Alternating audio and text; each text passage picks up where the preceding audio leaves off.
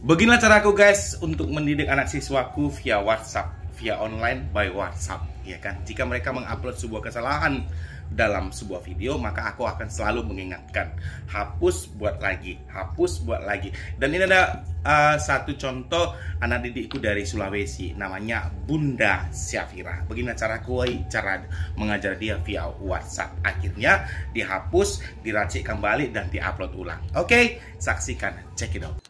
Mm-mm, bukan apa-apa sih kak. Kalau karena kakak belum monetnya kak. Contoh misalnya kakak udah monet nanti ada perintah itu pembagian hasil. Lagian pun jika seandainya dilakukan pembagian hasil emang kakak mau? Ngeri loh. Kalau kita cuma 20% loh sama pemilik musik 80% bayangkan. Nah kita hindari pula yang seperti ini Sedangkan story aja kak, tengoklah story Facebookku kak. Story Facebook itu satu hari bisa 10. 10 postingan di story yang 24 jam hilang. Sedangkan di story ternyata ada pelanggaran kak. Makanya kenapa gini gini gini. Aku pernah berdebat dengan seorang konten kreator. Dia mengatakan bahwasanya story yang menggunakan musik itu pelanggaran. Aku bilang enggak. Kau lihat postinganku, aku bilang. Semua postinganku yang di story memiliki musik. Tapi musik yang gunakan dari musik yang disediakan oleh Facebook ada lagi temanku nih di satu di lain cerita. Gara-gara dia menggunakan musik di story gara-gara dia menggunakan musik di story ditolak pengajuan monetisasi. Sudah akhirnya dia mengajukan setelah 30 hari.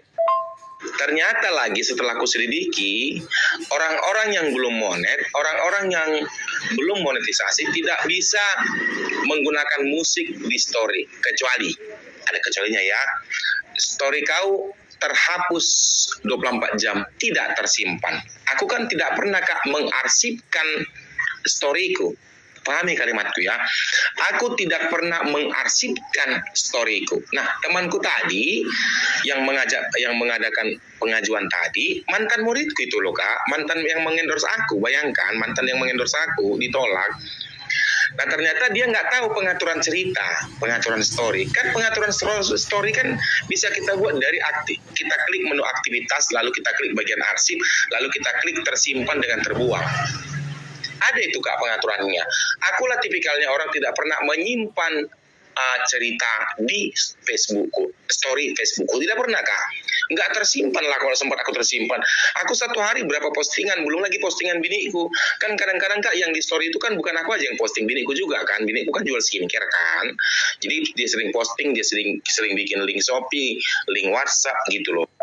Sama kakak pun ku bilang, jangan pernah menggunakan musik di ceritamu, di Facebook, di storymu. Kecuali menu Facebookmu yang story itu uh, tidak terarsip, hangus, hilang otomatis 24 jam. Uh, pertanyaanku, tahukah kakak pengaturannya di mana? Uh, klik, ah gampang itu. Klik-klik aja, klik-klik, klik-klik, klik pengaturan cerita udah selesai itu. Intinya kakak hindari musik karena kakak belum monet. Udah itu aja lah permintaanku. Oke, makasih Bang. Nanti aku apa hilangin ulang. Jadi kan guys, setiap postingan yang diupload oleh orang-orang yang mengendorse aku, aku akan selalu memperhatikan jika ada sebuah kesalahan, maka maka aku akan memperingatkan. Tidak baik kak, harus seperti ini kak, harus begini dan begini-begini tuh. Nah itulah tips untuk bisa untuk juga kalian semuanya ya. Jadi aku membagi tips untuk uh, bisa dibilang para anak didikku, lalu ku publik untuk kalian semua. Dipahami ya, we? Salam Limbong Anak Medan.